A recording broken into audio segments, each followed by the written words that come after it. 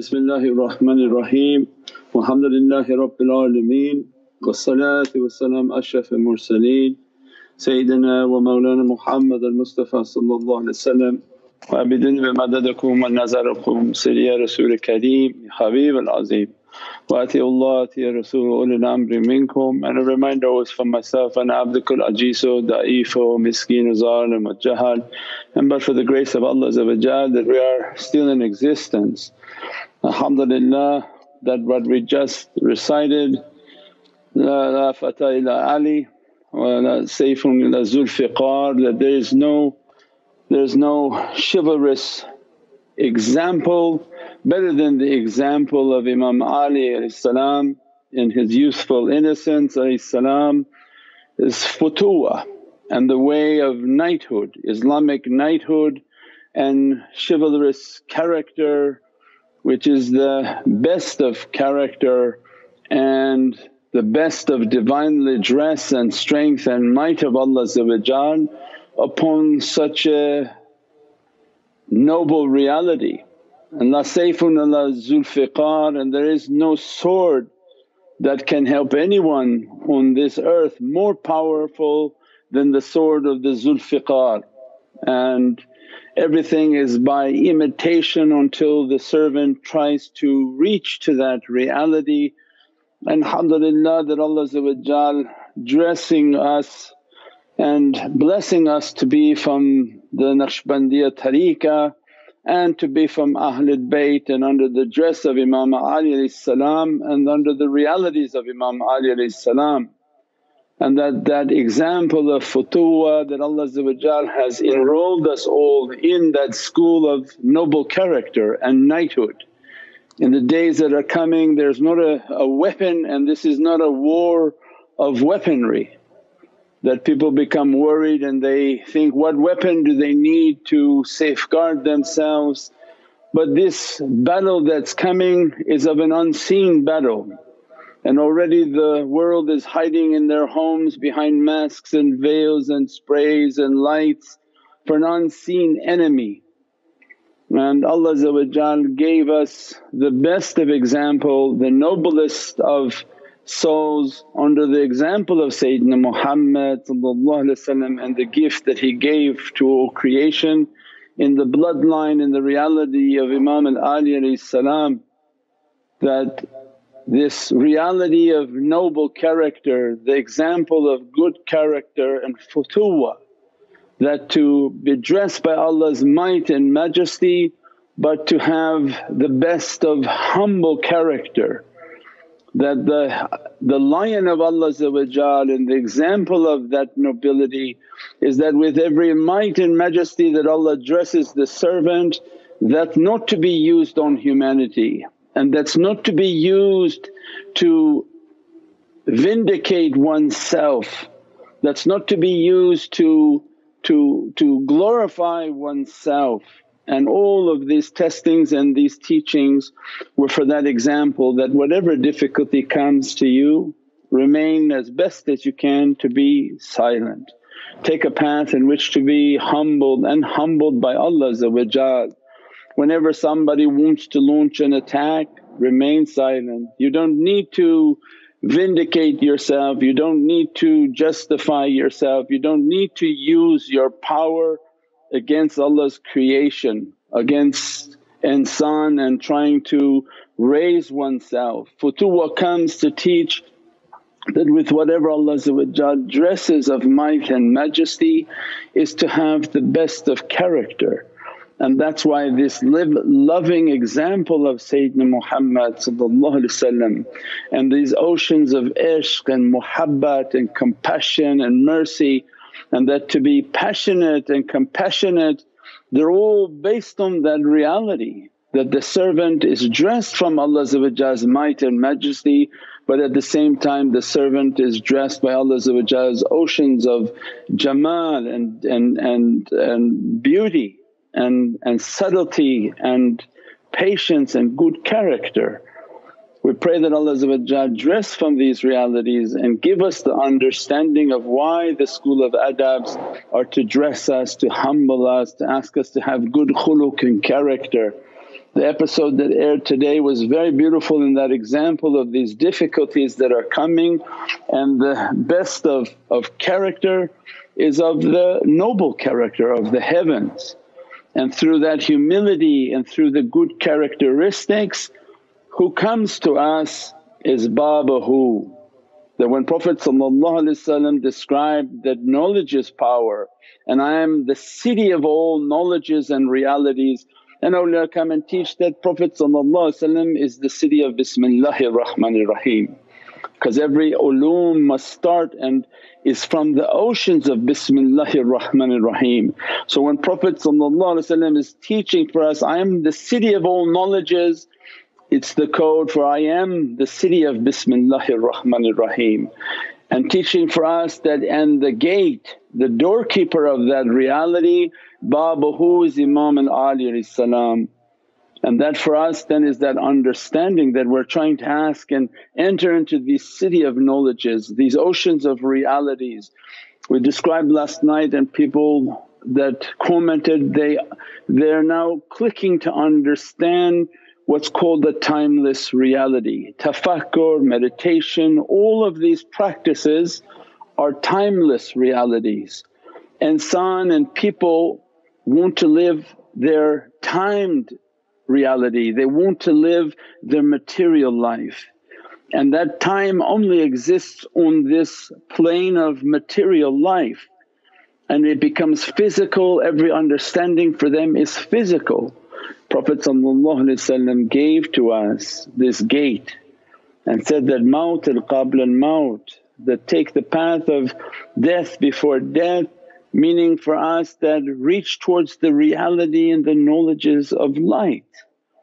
What scientists are studying of quantum, kuntum is of the realities of light, the reality of the atom, the reality of the molecules, the reality that that every energy is making everything to manifest. Every light that we see it's a manifestation of an energy. They found that energy is actually a sound.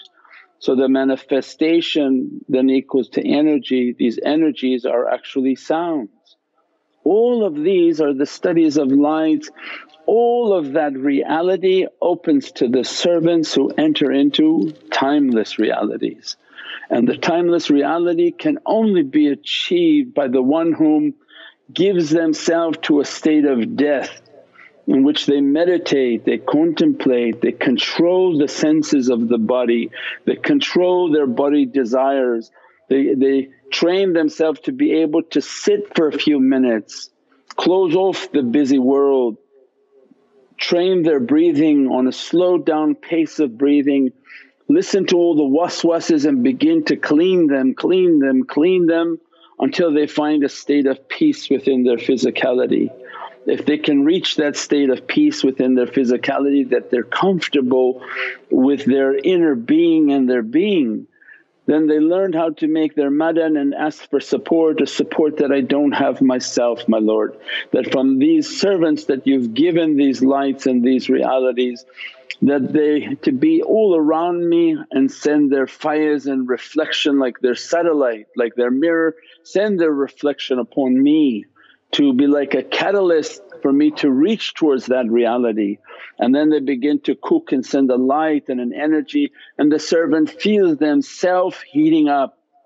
Means now their soul is getting more and more power, more and more power from its source of origin from Allah as the soul becomes more powerful it's either these two realities, either you want to give to your physicality and your soul is dying inside and they become very physical, very much ananiya that it's me and this is a pharaonic kingdom where everything is about the here and the now and there is no hereafter.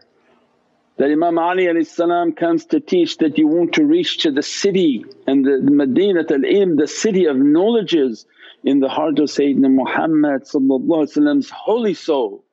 You want to enter, you have to go with your soul into that presence. So if you take your pharaonic existence and we keep crushing it and meditating and, and, and contemplating that I'll remain silent, I don't have to have anger, I can control my bad desires, my bad characteristics. I do my wazifas, I do my awrads, I do my practices.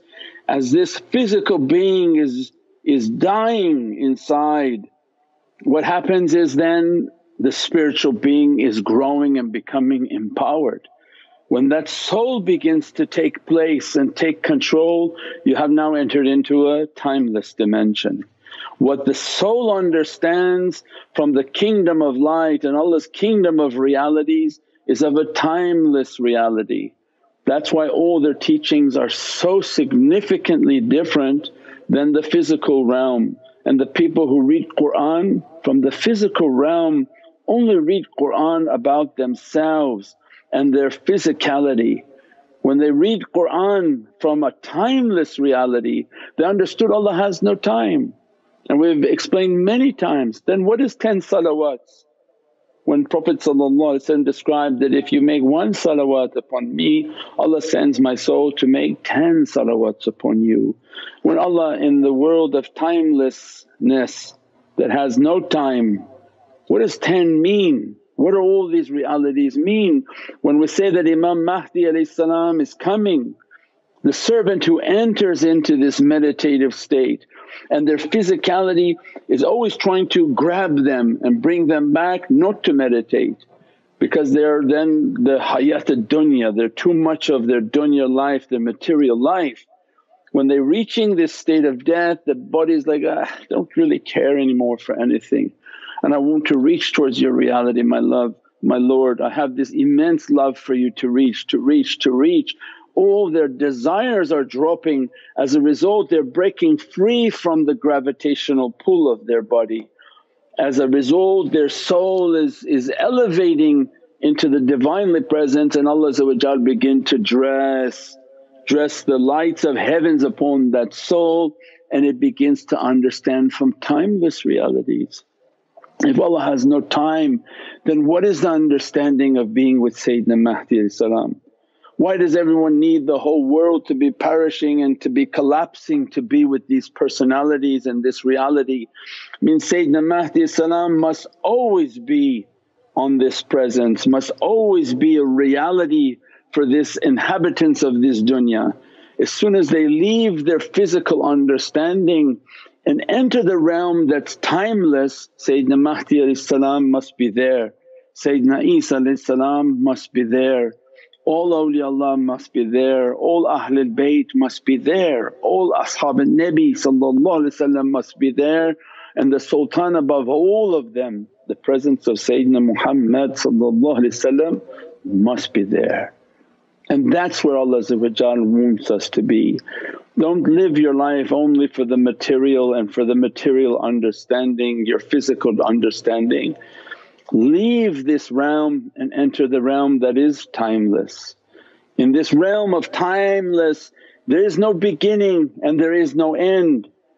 If they want to teach you from the knowledges of the beginning, you'll be taught from the knowledges of the beginning. If they want you to witness something that comes on Armageddon and on the last days, Yawm al Qiyamah, Yawm al Mashar, you'll learn from Yawm al Mashar, you'll see what happens.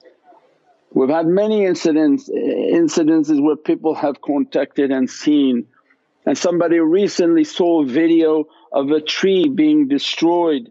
And this was a, a holy tree that was planted by awliyaullah at a maqam and they saw them butchering the tree, smashing the tree, this hizb shaitan and these people who go and pretend like they're for Allah and they say shirk and shirk and shirk. And they were so saddened by what happened and in the course of the zikr Allah opened for them ulumul awwaleen wa akhirin. When in an instant their soul saw what Allah will do to them on the Day of Judgment and they saw the tree begin to have a form and the tree began to make a sama and with every branch of the tree it grabbed the neck of one of these people who either cut it down, planned on cutting it down, encouraged the cutting of it down means Allah gave the tree the right of revenge for what was done against it because it's not a regular tree. That was a blessed location, a blessed reality and with each branch of the tree it grabbed the neck of these servants and was whirling and they were wishing for death but death was not given to them. They were being punished by the tree in a just eternal turning and whirling of difficulty. And that's what awliyaullah mean, the knowledges they teach you will witness them. It's not a philosophy class, when you connect in the realm of timelessness, whatever you're being taught of the past you will go back and witness that reality because this is Ahl dhawq, these are the people of taste.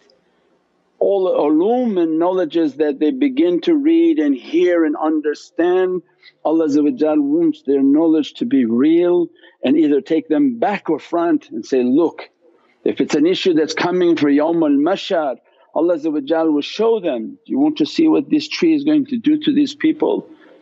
Do you think anyone has the right to abuse nature, abuse anything in creation? What that creation will give as a right over that insan for what they've done to them? Allah will show them. And the knowledges of the past amongst the Prophets and the Saints if Allah want Allah will take their soul to be present at that association and hear at that time what knowledges were being conveyed and what was the reality of that knowledge, that ulum that was being taught. So means in this realm that's timeless is the realm of truth. The abode of this dunya is all falsehood, it's all everything is temporary and Allah says, everything temporary zahuqan is crumbling. Don't base our lives and our knowledge and our time and our happiness on something that is crumbling. But use this time that we have to rise, rise to the dimension that is timeless.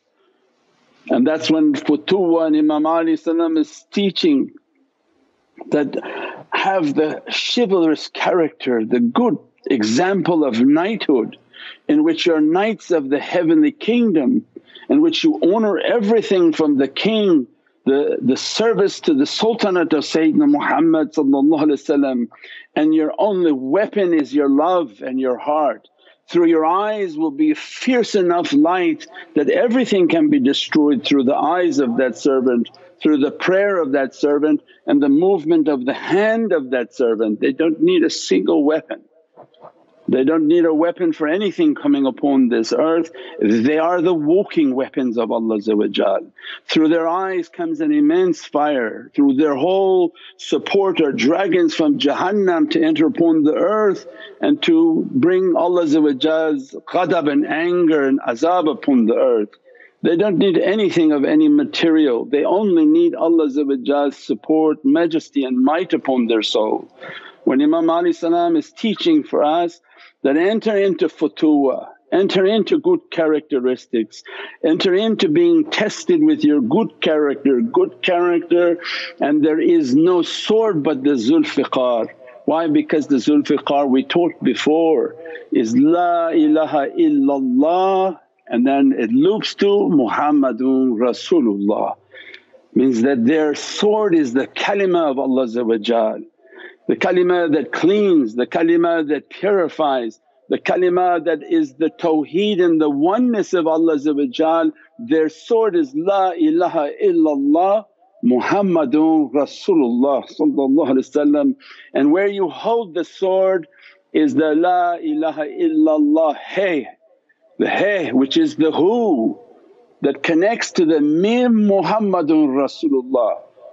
So means they're the Ahle Hu when Imam salam teaching for them that, come to my gate and there is no sword but my sword that I give to you means I dress you with the reality of La ilaha illallah Muhammadun Rasulullah I want to make you from Ahle Hu that you are the people of hidayah, the hay for who, that your five senses are alive your five senses are open and your five senses are taken over by Allah in Hadith al-Qudsi that, I am the seeing of this servant, be careful for what they look at you, they look at you with the light of Allah I am the hearing of this servant means they hear with Allah's power they breathe with Allah's power, they speak with Allah's might and majesty. Their hands are the kingdom of Allah subhanalladhi biyadihi mulk. Glory be to the one whose hands have been dressed by Allah's hands and their qadam and their foot is on the steps of Allah through Sayyidina Muhammad wa qadam as-Siddiq wa qadam al-Haq that everywhere they move, they move for the sake of Allah and Allah says, so much so that I love them and they entered into these oceans of love that whatever they want kun fayakun. And so much so that they become Rabbaniyun, these are the lords of the heaven. This is the sword that Imam Ali salam is giving to us and teaching us that teach people they have to have good characteristic, the two are, are, are the mix. How can you give this sort of La ilaha illallah Muhammadun Rasulullah and yet the character to be dirty and to be bad and to be filled with anger and bad character.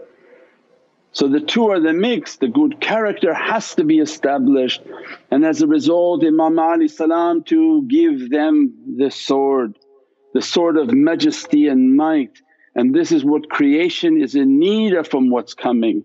Not a single weapon is necessary. For what's coming upon this earth of unseen and unseen difficulties, they need the support of Allah's oceans of tawheed. Not the tawheed that the people think that they're saying by their mouth and their bad character and the one telling you has not even a head cover or a beard. But the oceans of the real oceans of tawheed in which they understood there's nothing but Allah and there's nothing existing but Muhammadun Rasulullah, not you and not me are in existence but that we exist within the ocean of Muhammadun Rasulullah. So then who holds the sword of La ilaha illallah? That's all that matters for us to understand there's not a three but there's only Allah and his reflection is known as Muhammadun Rasulullah Subhana rabbika rabbil izzati amma yasifoon wa salaamun al mursaleen walhamdulillahi rabbil alameen bi hurmati Muhammad al Mustafa wa basir Surat al Fatiha. Shafat Ya Rasul Kareem. So let's do Nadi Ali from the Salawat book. Click the link now to subscribe.